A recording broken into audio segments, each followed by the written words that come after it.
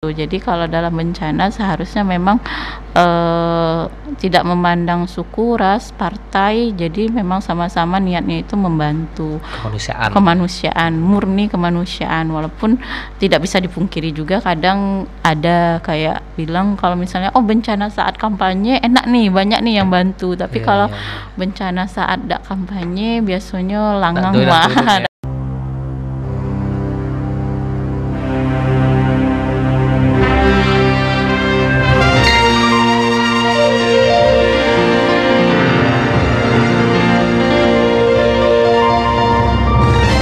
Turun ya. Mau tanya orang awak?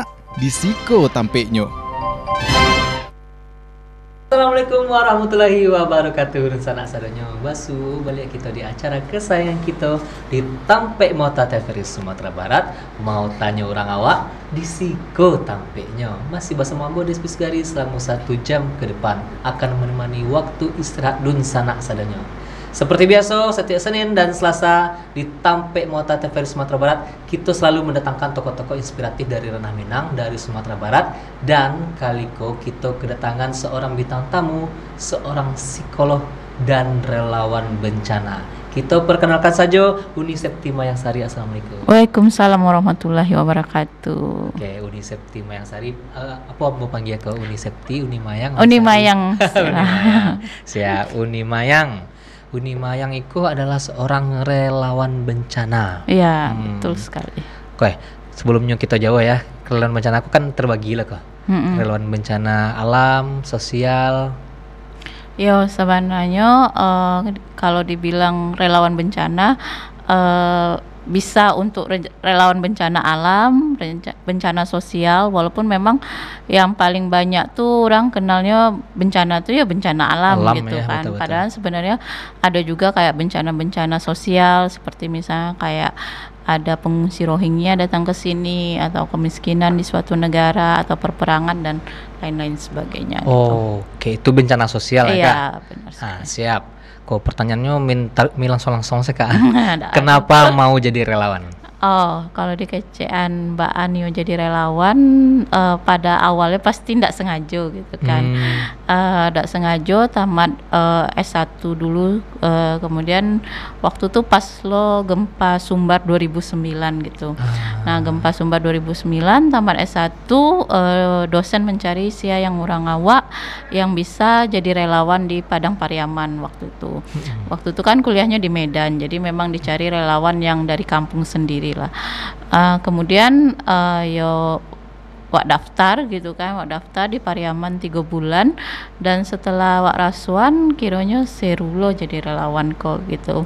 Serunya Ba ternyata rasa wak wak pai main-main saya gitu kan. Namun saya tamat Ah. S1 pasti wak rasa oh pai sanang-sanang, pai nyanyi-nyanyi, pai jual anak-anak. Tapi ketika eh, saat perpisahan tuh anak-anak tuh kayak diminta eh, dibuat buku untuk pengalaman bersama kakak Mayang misalnya. Nah itu tuh kayak menyentuh hati gitu. Ternyata yang Wak Raswan pas awal-awal tuh Nio pai bermain, namun eh, pai malala, pai jalan-jalan, pai tahu kampung orang, Pariaman tuh baa gitu kan. Kiranya eh, bermakna bagi para penyintas itu, khususnya waktu itu memang anak-anak gitu. Hmm, oke. Berarti waktu itu sebenarnya di pasca gempa 2009 itu kakak sedang di Medan ya. Iya, Eh, pai eh, tok ka pu- pulang kampung lah istilahnya ya, kampung pulang istilahnya. eh, lah jadi sarjana Jadi S1 sarjana waktu itu masih. S1. Nah, waktu itu ya namanya orang baru baru tamat ya nah, Iya, Kak, iya, masih. tamat. Alun ada kepikiran yang jauh-jauh banan ya Kak. Iya, betul. Nah, Berarti waktu jadi relawan itu eh, untuk diperuntukkan yang di kota di Padang di Pariaman, Padang coba Pariaman. Ayu Selatan waktu itu Oh, daerah oke. itu. Nah, yang kecil kakak main-main ke mbak maksudnya? Ah, yo, jadi kan sebenarnya kan eh, waktu itu fokusnya ke psikososial sama anak-anak gitu. Jadi dia mah dulu tuh kayak dipandu sama dosennya untuk buat program dan eh, anak S1 ku lah yang menjalankan gitu kan. Nah, jadi programnya tuh memang tiga bulan. Jadi kayak ada main sama anak, buat event olahraga, eh, kemudian eh, ke sekolah anak-anak itu gitu. Jadi asisten mengajar lah kalau bahasa zaman sekarang ya.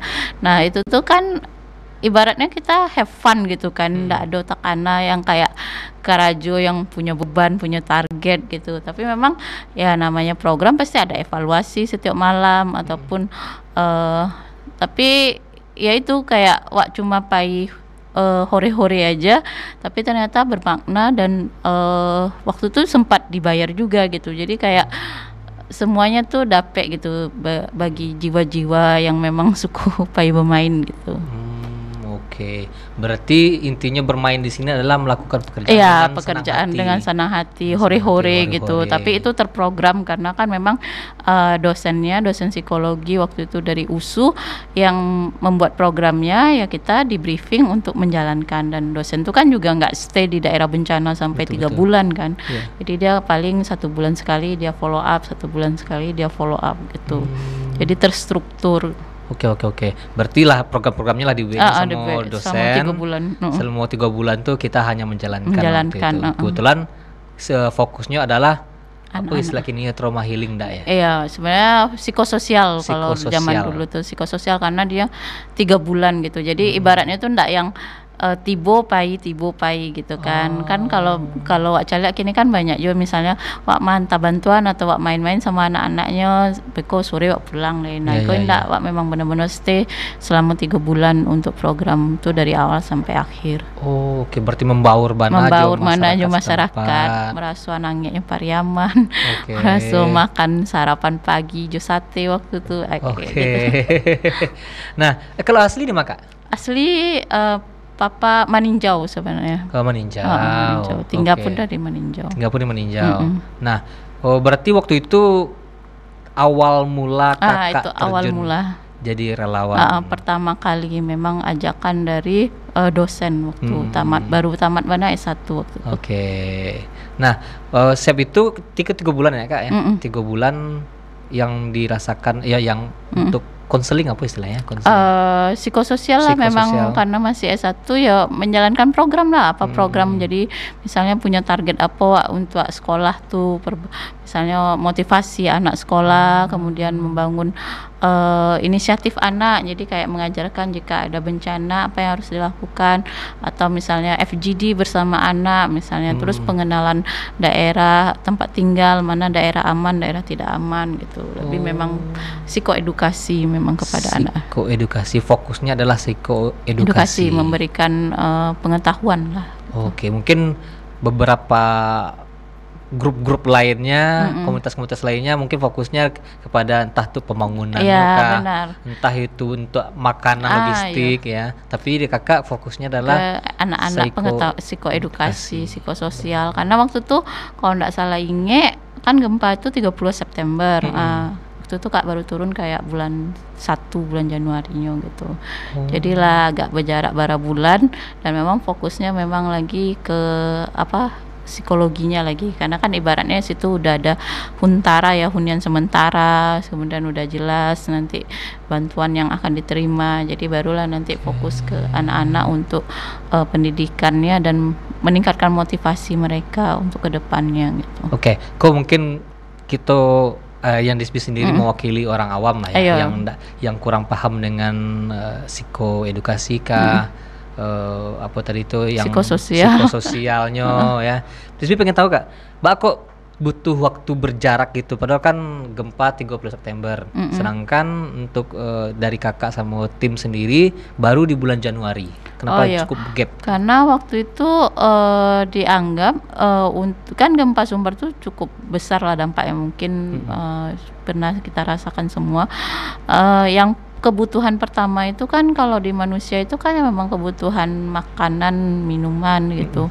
Jadi setelah settle sudah maksudnya itu lah jaleh kok oh kok ada sampai dapur umumnya, kok sampai um- umum apa, sampai masaknya, sampai tinggalnya, kemudian eh, ibaratnya mayat-mayat yang hilang sudah ditemukan ataupun yang sakit lah baru B gitu kan. Nah, itu baru bisa kita masuk ke secara psikologinya gitu. Jadi eh, memang hierarki kebutuhannya seperti itu kan. Iya, Jadi tidak mungkin lah, Wak. Eh, ibaratnya kan ingin tagline-nya kan ingin mengembalikan keceriaan anak gitu. Iya, Tapi iya. di satu sisi anak tuh masih memikirkan emaknya di rumah sakit atau memikirkan rumahnya masih tinggal tadima gitu. Nah, itu kan ndak ndak sejalan. Jadi bagusnya tuh memang lah beres hal-hal seperti itu baru tinggal Wak tingkatkan motivasi anak tuh. Misalnya untuk ke depannya kalau ada bencana yang serupa apa yang harus kita lakukan? Dan seperti itulah gitu. Oh gitu, berarti tujuannya adalah selesaiin bana dulu Ah, ya yang inti-inti. lah sopo korban sadua lahnya ala rumah hunian sementara lah ado Iya. bahkan eh, untuk kegiatan-kegiatan yang yang pokok-pokok kayak logistik, Logistik ya lah do, lah do, lah oh, sampai tinggal atau lah bue yang sementara gitu. bahkan untuk pendidikan sementara pendidikan pun eh, eh, karena ya. kan biasanya kalau ada bencana kan sekolah tuh pun diliburkan ada yang Betul. libur dua minggu ada yang libur satu bulan tergantung kerusakan gitu nah kalau ini ibaratnya mereka kembali ke sekolah walaupun dengan sekolahnya itu ya sekolah sementara gitu Mm-mm. kan nah, nah di situlah Wak bisa masuk misalnya untuk meningkatkan motivasi anak untuk tetap belajar dan hilang harapan gitu tetap semangat kompak dan lain Oke, baru di situ peran seorang psikolog dan Iya, teman-temannya tim. ya Ah, dan ah, timnya. Oke, kok kawan-kawan di rumah pun penasarannya kok eh, kegiatan-kegiatan Uni di lapangan seperti apa? Kita putarkan video berikut ini, check it out.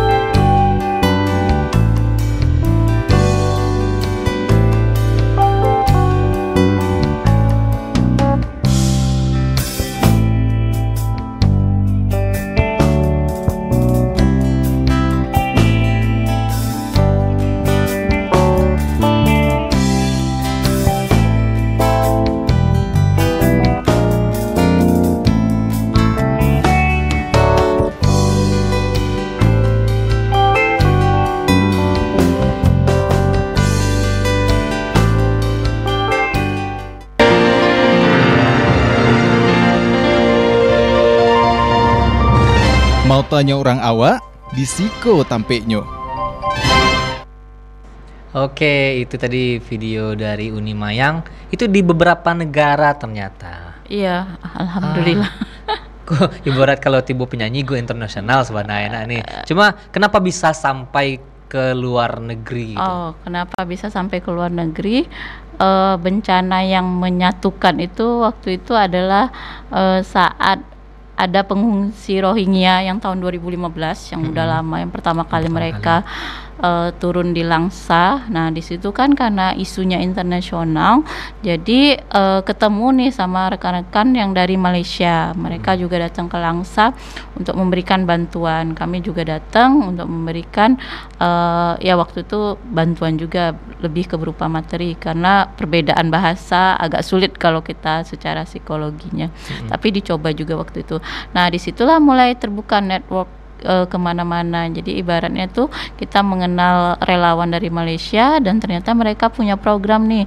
Mereka awalnya itu mau ke selatan Thailand. Jadi eh, atau Thailand Selatan lah. Nah selatan Thailand atau Thailand Selatan itu ternyata punya isu kemanusiaan karena di situ itu eh ya sebenarnya kalau kita bisa bilang itu isu ras, isu agama kurang lebih seperti itu. Minoritas Eh, ya Muslim di minoritas situ muslim ya. di situ karena eh, di situ tuh masih komunitas Islam tapi eh, ibaratnya kurang mendapatkan perhatian lah dari kerajaan eh, Ya. Thailand tersebut. Nah, di situ kami pergi ke sana.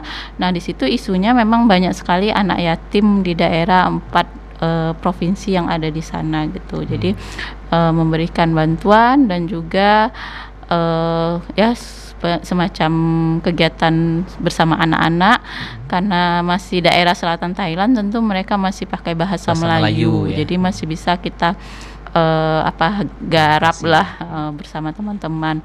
Nah kemudian lanjut lagi ternyata ada program lagi nih eh, untuk kurban ke Kamboja. Nah kalau kita tahu kan eh, sebenarnya kalau di Asia Tenggara ini eh, Muslim itu kan memang Indonesia, Malaysia yang terkenal. Ternyata ada nih selatan Thailand dan Kamboja juga suku Cham itu kan juga kalau kita lihat Iya. sejarahnya Suku dulu ya. ya, Iya. Kerajaan Cham. Nah itu kan juga ada Muslim walaupun juga tetap minoritas. Tapi berbeda dengan Thailand. Kalau Thailand itu ibaratnya memang dalam tanda petik dihiraukan gitu kan atau ditindas. Nah tapi kalau di Kamboja mereka bukannya tertindas tapi memang karena negaranya itu miskin jadi minoritasnya pasti lebih miskin, miskin daripada lagi ya? mayoritasnya Oke. jadi kalau kita eh, tengok di sana eh, ketika kayak mau Lebaran haji seperti ini kan kurban. Nah di situlah mereka mengadakan kenduri kawin. Jadi ibaratnya itu daging korbannya itu yang dipakai untuk pesta Barale barale ya. lah Ah, di ya. awak gitu kan.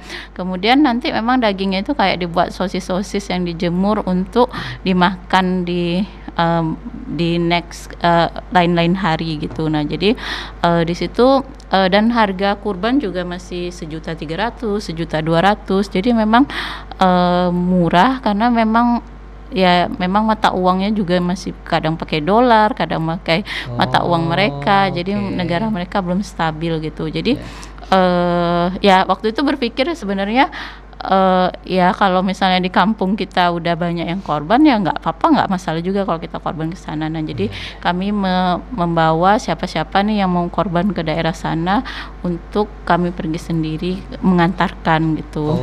Oke. Jadi sebenarnya basicnya itu adalah tim ini adalah tim yang memang suka backpackeran lah istilahnya gitu. Tapi backpackeran itu kayak ada misi gitu. Jadi kami eh ya kami pasti pergi jalan-jalan dengan ongkos sendiri, pesawat sendiri, akomodasi sendiri. Tapi membawa misi misalnya sumbangan dari masyarakat Indonesia, sumbangan dari masyarakat Malaysia untuk eh, ke daerah-daerah yang tanda petik tadi miskin lah dibandingkan negara kita sendiri gitu. Oke, berarti di seperti di Kamboja ya, Mm. su- eh, terutama di suku Cham itu, Mm, benar. suku Champa itu, itu adalah minoritas yang lebih miskin lagi daripada iya, negara ini lebih ya. miskin lagi. Kalau misalnya kotanya orang, bakal di kampung Ah, awak kampung saya, awak ya. kadang eh, Jawi 20 kue. ah. Betul, ah. Jadi kadang kan eh, ya mungkin tidak masalah juga mungkin preference perpilihan orang masing-masing betul, beda-beda kan. Tapi kadang ada yang berpikir wak kalau kurban tuh harus tibolo macik Jawi tuh. Ada yang berpikir kan Iya, sebenarnya kan bisa berkiriman saya gitu nggak Iya. harus eh, wak tibo macik Jawi itu saat disembelih gitu. Eh, dan kalau di situ ya itu karena wak lah pernah ke situ pancalia jadi kayak ya mana berharga istilahnya daging tuh sampai ditunggu untuk untuk buat barale gitu kan. Betul, Kalau di awak kan kadang 20 lah itu ya memang dibuat sate lah saking tak tahu kan dibuat apa lagi kan. Bahkan uh, Raya Waji lah Tibolo Raya Celi Eh, masih masih di kulkas, kulkas. Ah, ya itu sebenarnya. Iya, iya, jadi eh, ya itu jadi karena memang awal mulanya itu di Rohingya itu akhirnya bertemu dengan komunitas-komunitas eh, dari Malaysia maupun dari Kamboja gitu. Orang Kamboja misalnya yang pernah ku- kuliah di Lipia Jakarta atau orang eh, Thailand Selatan yang juga pernah kuliah di Indonesia. Indonesia, gitu yang bahasanya memang masih bisa dimengerti, ya. Tapi kalau bahasa yang menari-menari itu tentu sulit untuk dimengerti.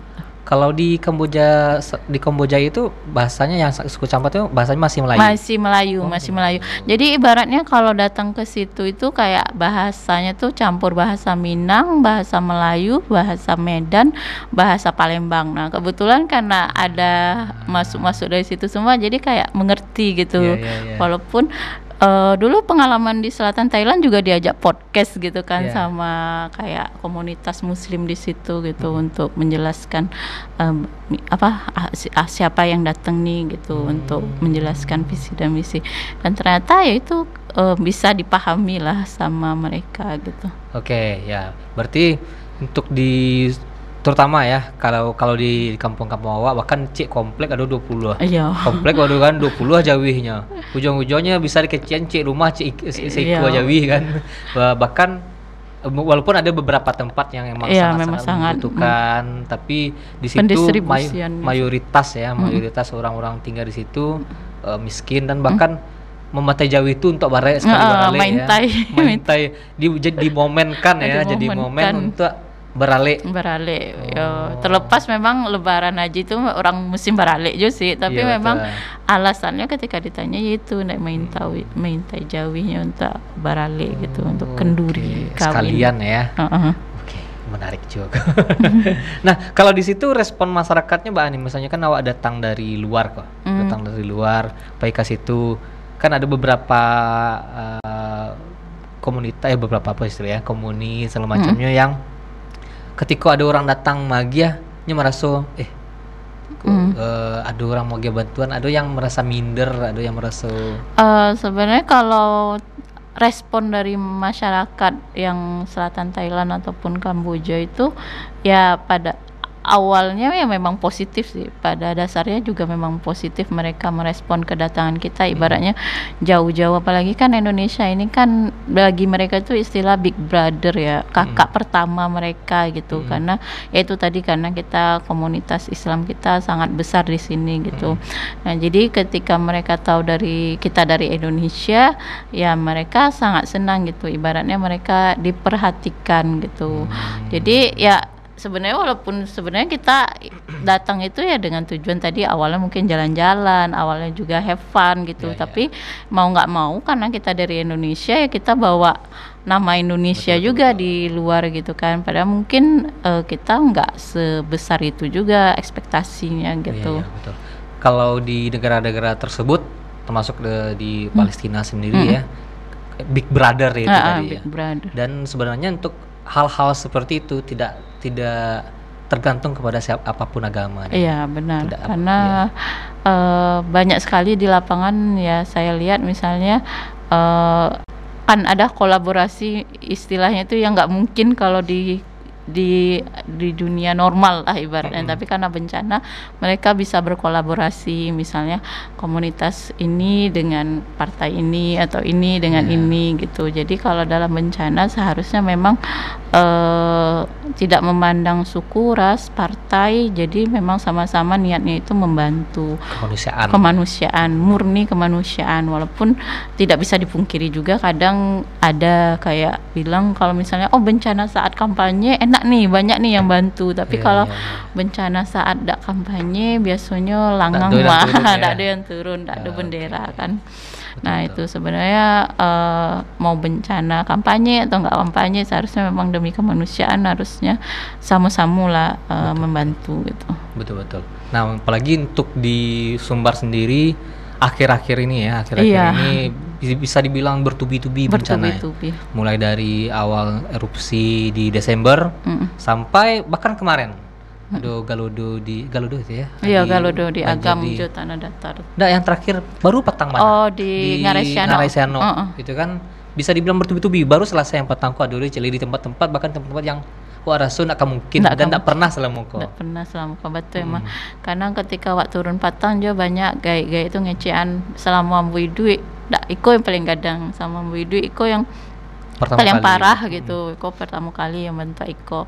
Biasa lagi kalau dojo tapi tidak bentuk iko bana atau Hmm. tidak ada yang meninggal sebanyak iko bana atau cuma alirannya sesuai lah dengan aliran sungai ya, yang sungai, dibuatnya saya. tidak melebar kama-kama gitu. Nah, iya jadi memang Sumatera Barat akhir-akhir ini memang sangat diuji dengan bencana alam gitu kan. Eh, Wak selalu berpikir takut Wak gampu gampu gampu siapa Betul. sangko kiranya galodo kok bisa separah itu gitu kan Betul, dicaliak-caliak gitu mulai dari yang awal sebelum bulan puasa tuh mungkin daerah pesisir banyak loh karena kan. Nah, kemudian eh, baru-baru Patangko, daerah Agam, Tanah Datar, kemudian Iya. Ngarisiano juga Heeh. itu bertubi-tubi ya. bertubi-tubi. S- kayaknya udah lah halah lah lah tuh halah tuh ya.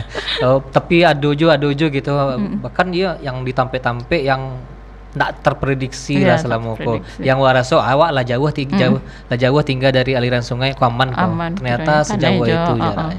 Oke, itu untuk yang daerah yang di Sumatera Barat sendiri, yang baru-baru kok ini pun ada ada turun. Ada turun Patangko eh, dengan Unan kan membawa Unan dari psikologi Unan bergabung dengan tim lainnya. Itu tuh dap- sebenarnya kami bagi dua kelompok cek ke tanah data cek ke Agam. agam gitu karena memang ya itulah kayak tadi dakwah sangkolo jalan tuh bisa putus bisa putus itu gitu Betul. kan selama ko mungkin wak, bisa jalan ke padang panjang capek sih ya. lewat malala tentu hari lah siang jadi eh, memang jadi dibagi dua tim tidak bisa wak cek kemari cek kemari gitu Hmm. karena memang di Calak juga banyak juga jalan yang akhirnya tas tasandek gitu kan karena selain orang rami karena jalan tuh satu jalur yang biasanya orang bisa lewat siko eh, akhirnya kayak Malala tuh kan biasanya aktifnya saat rayo saya gitu kan kini mau tidak mau truk-truk gadang pun lewat eh, situ, lewat situ dengan, gitu bahkan dengan kondisi jalan pun Oh, sebenarnya alun memadai kalau untuk lalu lintas memadai. padat Iya. Eh, apalagi waktu yang nipa itu pas lo si tinjau alun bisa dipakai lo betul. gitu kan. Aduh lo kan si tinjau ditutup gitu. Jadi memang eh, ya rami lah gitu yang dulunya mungkin langgang. Iya betul betul. Oke. Kok eh, perbincangan kita lagi hangat-hangatnya tapi ada yang kelewat kan nih. Oh, iya. Kita akan kembali lagi setelah bersama-sama berikut ini jangan ke mana-mana.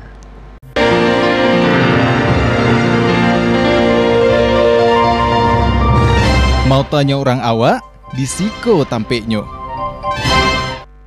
Oke kembali lagi kita di Tampek Mota TVRI Sumatera Barat. Mau tanya orang awak di siku tampeknya. Di sana jangan lupa saksikan Tampek Mota kau setiap hari Senin dan Selasa pukul 2 siang di TVRI Sumatera Barat. Bisa sana tonton live di TV bisa juga sana tonton live streaming di Instagram Facebook maupun YouTube-nya TVRI Sumatera Barat. Atau bisa juga sana download aplikasinya TVRI Klik di Play Store atau di App Store. Jadi sana bisa tonton di mana pun dan kapan pun. Oke kita lanjutkan bincang-bincang kita bersama Uni Mayang tentang psikologi dan bencana ya. Iya, bencana. boleh. Nih, Uni dengan eh, disiplin ilmu Uni yang di, bi- di bidang psikologi dan Niko ada dari sisi bencananya relawan bencana kan relawan tuh kan bisa siapa pun ya. Iya, siapa pun. sia yang namuah. Sia yang namuah bisa Ah, kan tibo. Dan Uni dengan membawa eh, punggungnya di punggungnya Hmm. ada kata-kata psikolognya, psikologinya. Apa sih yang membedakan Uni dengan relawan lain? Iya betul itu mah. Jadi memang selagi amua, selagi rasa-rasa ikhlas, eh, sia pun bisa jadi relawan gitu kan. Nah pada dasarnya juga di lapangan tuh ndak harus juga kita berhadapan dengan yang berbau psikologi. Kadang eh, ini juga misalnya membungkui bantuan, bagian bantuan bare gitu atau ke dapur umum atau pai pasar membeli bahan-bahan gitu. Tapi eh, tentu eh, karena wa orang psikologi ibaratnya kan orang tahu loh wa orang psikologi ada yang eh, difokuskan gitu, yang difokuskan terkait dengan psikologi ini.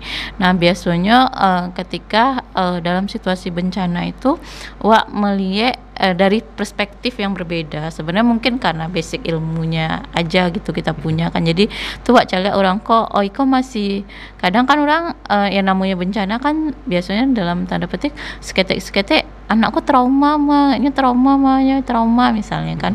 Padahal kalau wak cale oh ini masih dalam tanda petik normal lah. Ini memang karena kejadiannya saya yang luar biasa tentu anakku takut berpisah jauh amaknya atau oh itu memang masih normal selagi alun sampai satu bulan gitu. Nah kemudian kadang eh, wak mencari aja dari segi psikologi itu yang namanya bencana itu eh, kadang banyak beberapa komunitas atau NGO atau LSM dia melupakan aspek psikologi gitu. Maksudnya apa? Kadang eh, di daerah itu lah rancak gitu secara masyarakatnya gotong royong, tolong menolong. Nah, kemudian datanglah kadang LSM tuh memberikan bantuannya tuh sangat jor-joran gitu. Ndak diangkeknya misalnya nilai gotong royong, maksudnya ya wak magih bantuan tapi mungkin eh, yang membuatnya masyarakat sekitar atau yang mangke makanan tuh atau yang memasak tuh masyarakat sekitar ndak yo bana 100% awak sebagai relawan yang mengagihan. Karena Iya. itu juga berdampak lah gitu kan eh, kepada psikologis eh, penyintas itu. Akhirnya mereka berpikir oh gampang kok nanti ada lagi. Oh mudah kok nanti ada penggantinya. Oh ini nanti eh, tinggal makan saya atau baa gitu. Jadi nanti eh, secara tidak sengaja kedatangan kita itu mengikis nilai-nilai baik yang sudah ada di masyarakat Masyarakat tersebut. sendiri. Jadi akan lebih baik kalau kita memang eh, ketika akan turun jadi relawan tuh Wak, tahu gitu kan kira-kira kalau daerah itu apa ya nilai-nilainya. Nah, mungkin itu yang jadi perhatian juga gitu kan. Iya. Nah, kemudian secara psikologis pastinya enaknya itu ya kita bisa sambil ibaratnya itu konseling ke penyintasnya. Jadi eh, ada yang memang kadang pe- penyintas itu lebih suka untuk didengar saja. Kita bisa berikan ibaratnya P3K kan P3K dukungan psikologis awal kepada penyintas. Ohnya ingin didengar sama ataunya ingin dihubungkan yang mengeluh-mengeluh-ngeluh kemudian mungkin kita oh ya ibu bisa hubungi ini ini gitu. Atau memang eh, sudah mulai muncul gejala-gejala adanya gangguan psikologis bisa Wak konselingkan gitu. Jadi eh, karena kan kalau Wak langsung ke profesional ya sedangkan dalam keadaan normal sih sebenarnya kan orang ke psikiater ke psikolog tentu jarang gitu kan Betul, atau betul. bahkan ada eh, apa stereotipnya kayak negatif oh, ke psikolog ke psikiater ah, kok dalam tanda Ah, kutip ah, gitu dalam ya. tanda kutip. Tapi kalau jadi relawan psikologi ataupun dengan basic ilmu psikologi ataupun menjadi psikolog, tentu kita bisa kayak eh, masuk melalui itu bahwa oh ibu ini ini ini, ini. jadi eh, lebih agak mudah gitu. Mm-mm. Karena eh, ya kadang permasalahan dalam dunia kebencanaan ini pastinya nggak hanya masalah nasi tempat tinggal tapi eh, dalam undang-undang pun kalau kita lihat kan pasti berdampak terhadap kondisi psikologis seseorang ketika terjadi suatu, suatu bencana gitu. Oke, berarti Uni Uni terjun ke lapangan langsung itu sebagai relawan dari sisi psikologinya Mhm.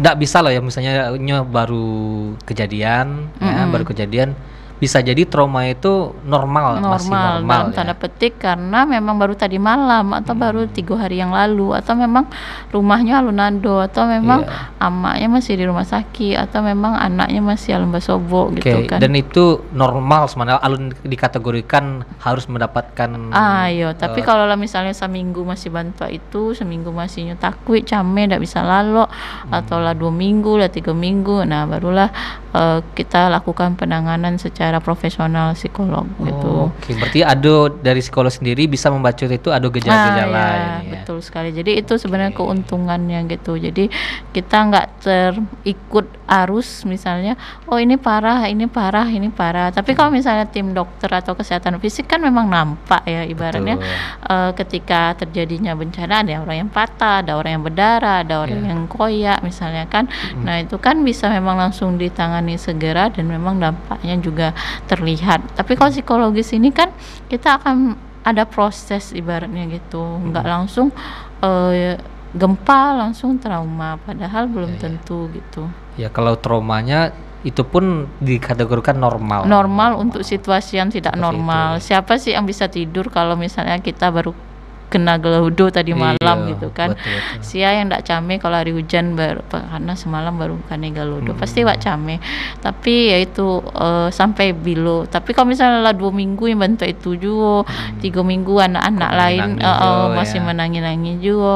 Ayo itu mungkin perlu eh, penanganan lebih profesional gitu. Oh, Oke, siap. Jadi itulah bedanya be- benang merahnya antara bedanya relawan Biasa. eh, biasa yang umum Mm-mm. dengan relawan yang emang dari Psikolog. dunia psikolog, Ha-ha. psikologi. Tapi sebenarnya kalau pas turun lapangan pun eh, ada yang memang ya kalau misalnya Pak Ijo kampus tentu eh, ibaratnya tuh dipromosikan kok dari psikologi loh. Tapi kalau misalnya Pak Ijo komunitas atau kayak eh, Jo yang biasa, LSM biasa gitu, eh, kadang memang ada program yang untuk psikologi kayak ya beberapa LSM. Tapi ada juga yang memang nggak ada, udah memang wak jadi relawan sih gitu Oke. kan. Tapi eh, dari sisi awak sih melihat eh, dari perspektif psikologi tadi gitu. Hmm, oh berarti sebenarnya setiap turun tuh Beda-beda. kita bisa mewakili Ah, banyak banyak. banyak LSM Eh, kah itu iya, atau kampus kah segala macamnya. Tapi kita akan tetap menjalani apa yang diperintahkan ya, ya, sesuai diperintahkan.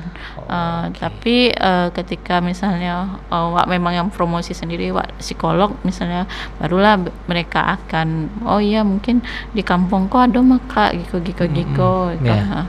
Tapi Tapi kalau misalnya Wak tidak dipromosikan tuh berarti Wak menjalankan tugas sesuai dengan uh, alurnya aja gitu. Oke. Nah, nih di selama Uni jadi relawan bencana kok tentunya ada momen-momen tertentu yang hmm. bisa dibilang bikin terharu ya, entah yeah. itu sangat menyedihkan, entah itu malah oh terjadi atau happy malah di situ ya. Yeah. Uh, ada ada kisah-kisahnya. Tapi tahan dulu karena kita akan kembali setelah pesan-pesan berikut ini. Jangan ke mana-mana.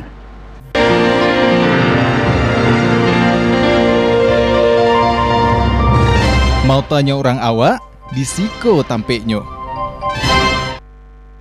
Oke kembali lagi kita di Tampek Mota TVRI Sumatera Barat Mau tanya orang awak di Siko Tampeknya Nah kita akan lanjutkan kembali pembicaraan kita bersama Uni Mayang hmm. Tentang bencana tadi hmm. Kan selama Uni jadi relawan Tentunya pasti banyak hal-hal yang uh, menyedihkan, sedih hmm. ya Atau malah hal-hal happy yang Uni temukan hmm. Bisa Uni jelaskan Yo, atau Uni cerita sekali Sebenarnya setiap turun daerah ke daerah baru itu pasti banyak pengalamannya kan. Hmm. uh, banyak lo ceritanya. Tapi kalau misalnya yang ditanya yang berkesan lah kan berkesan itu hmm. uh, bencananya sinabung lah kalau bisa dibilang. Kenapa sinabung? Karena itu lama gitu lamanya itu mulai dari wak ngelajuan tesis sampai selesai wak ujian tesis itu masih jadi relawan juga gitu hmm. jadi selama itu bahkan kan kadang wak danga sinabung tuh masih erupsi gitu yeah. nah di situ tuh seperti yang disampaikan tadi Jo uh, mulai dari wak awal-awal tuh memang kebutuhan dasar kebutuhan dasar uh, mananyuan di pengungsi tuh ibu ibu kemakan apa hari ko bu?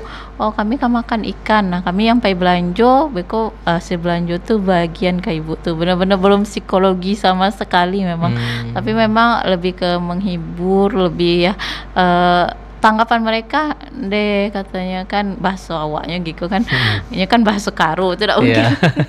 translate uh, apa kecaknya uh, deh bisa juga makan lama selama di pengungsian kok ya kecaknya hmm. kan tidak makan in ya makan mie instan mie instan setaruh gitu. Betul betul.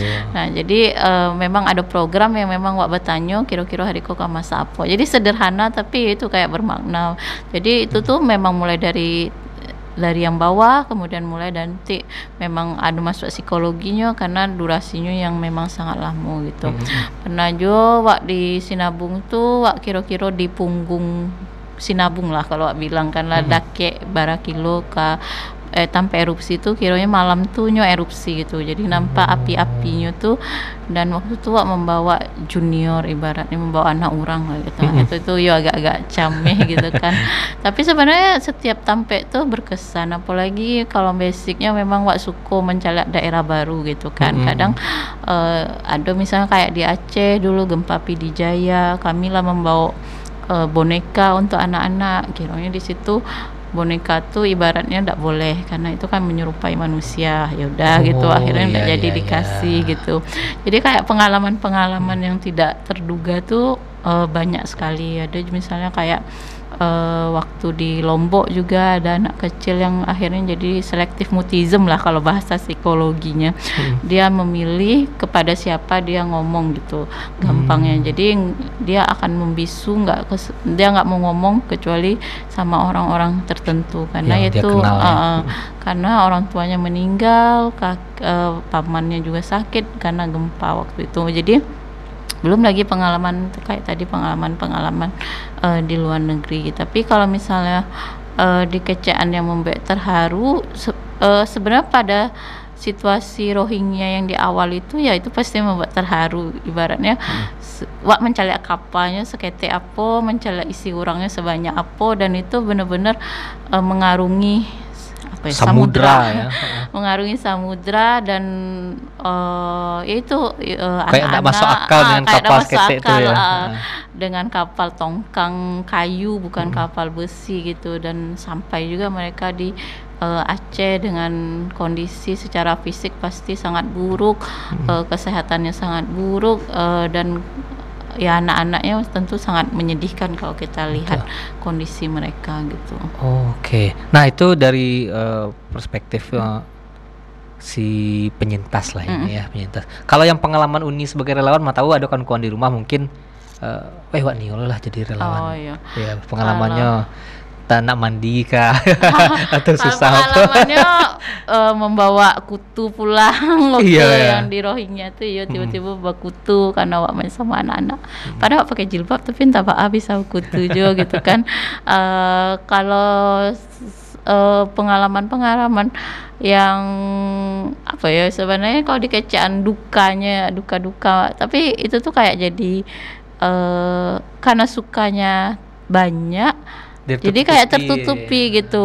Jadi kalau yang ibaratnya remeh-remeh itu kayak ya udahlah kayak tak mandi tuh biasa sih gitu kan. Iya. Atau misalnya kayak Sinabung tuh kan sangat dingin ya ibaratnya kalau di Tampe Awak kok mungkin Lahan bukit tinggi ya? zaman dulu ya Oh, atau lahan panjang zaman dulu. Jadi wak harus siap-siap pagi-pagi mandi tanpa air panas atau waktu kayak di Bener Meriah Takengon itu ah, itu ayah mati jadi mandi di di pemandian air panas rupanya kami tidak tahu juga kalau di Aceh itu cowok dan cewek itu sangat sangat terpisah gitu Iya. kan jadi kena eh, marah sama kan mereka ada askarnya tuh kan Iya. apa polisi syariah gitu Iya. nah jadi pengalaman-pengalaman yang seperti itu sebenarnya duka sih tapi menarik gitu Iya, betul. Eh, menakutkan waktu di selatan Thailand tuh juga ada as kan kalau selatan Thailand tuh setiap berapa kilometer ada pos penjagaan pol- eh, tentaranya atau askarnya. Jadi mereka itu akan memeriksa eh, apa? Barang memeriksa bawaan. barang bawaan kita. Dan ketika kita jadi relawan, pasti kita kayak dicurigai gitu kan eh, dengan senapan laras panjangnya. Tapi ketika Oh. Minta izin kan kita bilangnya kita mau ke Thailand nih kalau di rumah. Hmm. Kan orang taunya Thailand tuh happy-happy lah kan. Iya. Kalau misalnya ke Thailand pasti senang-senang, eh, lady boy, bla bla bla gitu kan. Dan orang tua pasti ngizinin gitu kan. iya. Tapi eh, ketika kita lewati askar-askar itu, apalagi waktu itu ada teman yang memfoto gitu. Jadi Mm-mm. blissnya itu kayak akhirnya memang dikejar sama askar itu. Jadi itu Oh. pengalaman deg-degan kayak gimana nih di negara orang kalau misalnya eh, ya sama ditangkap atau bermasalah tapi alhamdulillah waktu itu aman selamat bisa sampai tujuan gitu Buktinya masih bisa di-recall. buktinya dan ketika pulang baru bilang sama orang tua oh ternyata kemarin tuh selatan Thailand bukan Thailand Eh, t- Tanyanya mau oleh-oleh. Oleh-oleh. Madurian durian mangkok. iya durian Bangkok Oke, nih. Eh Iko kan Uni sebagai relawan bencana ya. Rela, namanya relawan Hmm. kadang ada yang emang eh, da- mendapat se- eh, secara materi lah ya. Mm-mm. Ada juga yang namanya relawan emang tidak dapat apa-apa. Iya, benar sekali. Tapi dengan kita terjun langsung ke lapangan, kita terjun langsung untuk melihat masyarakat masyarakat yang penyintas ya. Mm-mm. Itu an- adu kepuasan batin segala macamnya. benar sekali. Tapi untuk kegiatan Uni sehari-hari ya. Kalau jadi relawan tuh kan memang ibaratnya zaman mudo-mudo dulu, tapi sebenarnya sampai sekarang pun masih eh, berkecimpung lah kan. Eh, kalau memang dibutuhkan biasanya akan ya walaupun sekeluarga ya sekeluarga lah pergi diamankan gitu kan. Hmm. Nah, kalau untuk kegiatan sehari-hari sebenarnya kalau sejak dari dulu juga yang tetapnya itu dosen prodi psikologi FK Unan gitu. Jadi dari tahun 2017 sampai saat ini masih ngajar di situ. Dan kegiatan kerelawanan ini ya waktu di luar negeri pun ibaratnya itu ya memang izin kampus ataupun pergi-pergi ya pergi-pergi sebentar lah kalau bisa dibilang gitu. Kemudian kalau praktek psikolognya itu eh, selain di rumah sakit Unan juga baru bergabung di SPH kurang lebih satu tahun ini gitu. Hmm, Semen itu Padang khusus? Hospital. Itu khusus untuk eh, psikolog klinis. Jadi eh, ibaratnya untuk anak. Karena memang background pendidikannya itu klinis anak. Jadi memang eh, fokusnya itu ke anak-anak. Tapi Oh, kalau berarti namanya psikologiku ada tetap ada fokus lebih kecil ah, lagi. iya, tapi eh, untuk kurikulum berikutnya itu diganti. Jadi kalau kurikulum berikutnya itu secara umum, tapi eh, kalau di rumah sakit, tapi tetap sewa nerimu pasien apa pun lah, mau dewasa, mau anak-anak, remaja gitu. Walaupun memang akan lebih banyak pasiennya itu anak-anak dan remaja gitu, karena concernnya memang di anak-anak dan remaja. Eh, kalau nih ke yang untuk anak-anak emang apa sih isu terbesarnya tentang psikologi? Nah, kalau isu yang tren lah kita bilang Heeh. tren saat ini eh, isunya itu adalah gangguan-gangguan eh, keterlambatan berbicara Ah, atau speech speech, delay, delay. bahasa Ya, betul. yang terkenalnya ya speech delay. Nah itu yang banyak karena kan eh, bagi orang tua yang belum menyadari atau orang tua yang tinggal dengan kakek atau nenek kan biasanya akan bilang oh biasa tuh lambek mengecek bekonya kapan disurang junyo atau Ya. eh, beko lah masuk sekolah iko ndak ada ada kawan nyonyo makanya ya Ya. agak susah mengecek nah Ada aja yang ngecek, ang dulu Ah, gitu gitu. ya. kan ya. akhirnya bisa aja mengecek gitu kan. Hmm. Nah, tapi sebenarnya itu eh, ya seperti tadi psikologi kita akan lihat durasinya gimana, seberapa banyak kata yang sudah ya normalnya orang seperti apa, ke- kemudian Berapa kita banding usia kosakata berapa ya? eh, di usia berapa dan sehari-harinya seperti apa kegiatannya, apakah memang dia nggak ada teman bicara atau seperti apa atau memang dia lebih banyak dengan gadgetnya ya isu-isu seperti itu sih kalau di dunia psikologi anak sekarang eh, selain eh, ya isu-isu kalau di bidang klinis ya pasti misalnya anak itu regulasi emosinya anak kok dikecekan mah bu atau tidak mau sekolah kayak gitu Hmm, oh, Oke, Heeh. siap. Nih, kok tidak terasa pembicaraan Noah? Oh, iya. Eh, lah sajam sih. Padahal sedang sedua biasanya tentang anakku biasa bisa kupas sajam loh kamu. Allah. Oke nih. Eh, target ke depan dan sedikit eh, closing statement kepada kawan-kawan di rumah. Oke, kalau closing statementnya sebenarnya apa pun yang kita perbuat eh, selagi kita mampu, mau dan ikhlas itu bisa dianggap eh, sebagai volunteer activity lah, kegiatan kerelawanan gitu. Jadi nggak harus kita turun juga ke lapangan secara langsung ibaratnya. Tapi apa pun yang bisa kita lakukan untuk membantu orang lain, untuk membantu saudara kita, membantu penyintas eh, bencana eh, sekecil apa pun itu ternyata sangat berarti bagi mereka saat eh, di lapangan gitu. Hmm. Jadi kadang ya seperti itulah nggak harus juga eh, berbondong-bondong kan Betul. kalau memang masanya itu belum eh, pas gitu kan. Oke, berarti untuk apalagi untuk zaman maju sekarang bahkan untuk hanya sekedar bikin story Iya, eh, benar kepedulian Iya. pun akan menggaungkan ya. menggaungkan, Menggaungkan membuat hal. orang melihat oh ternyata ada bencana ini loh apa yang bisa kita bantu sekecil mungkin Terima kasih Uni Iya, Mayang Rara Tangka sama-sama. Tampe Mota. Semoga akan banyak lagi ya eh, yang di bidang relawan ini. Seperti Uni bilang relawan itu tak hanya yang harus turun Mm. langsung, tapi bagaimana kita membangun jiwa-jiwa kemanusiaan kita Iya. agar kita aware terhadap bencana tadi entah itu bencana alam maupun bencana, Bencana sosial sosial. di sekitar kita. Oke, terima kasih Uni Rara Tangka Tampe Mota. Iya, Semoga sama-sama. makin sukses ke depannya. amin ya Oke, dan sana-sananya demikianlah bincang-bincang kita bersama Uni Mayang tentang psikologi dan bencana. Kita akan kembali lagi minggu depan bersama saya Desbis Gari dan kru yang bertugas. Mohon undur diri. Assalamualaikum warahmatullahi wabarakatuh.